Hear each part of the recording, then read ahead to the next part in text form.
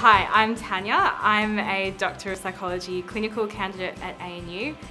Um, so what that means is that I've spent a lot of the time over my degree uh, in classes, doing coursework uh, and on placement training to be a psychologist.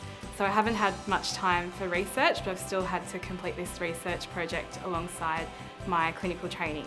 If I had to sum up my experience doing research over the last four years in one word, it would be guilt.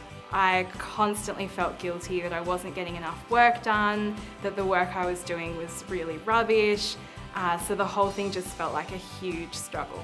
I think looking back over the last four years, I turned down a lot of opportunities to do some research training. I kind of felt like maybe um, I didn't deserve it or my work wasn't even good enough to, to work on. And I'm not sure why I decided to give boot camp a go. Maybe I was just desperate to get the thesis done, but I did. And I'm so glad that I just gave it a go and it ended up exceeding my expectations.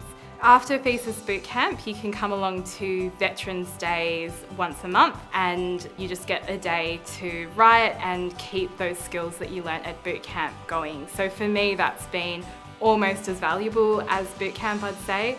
And it's so nice to know that um, even if things are so busy for me in the rest of my life during, and I don't really get time during the week to work on my thesis, that I've got one day a month where I know I'm going to get a lot of work done. And it's not uncommon for me to finish revising a few chapters in on Veterans Day and I often find myself apologising to my supervisor afterwards because I've sent her so much work to review um, and I think that's a pretty nice problem to have.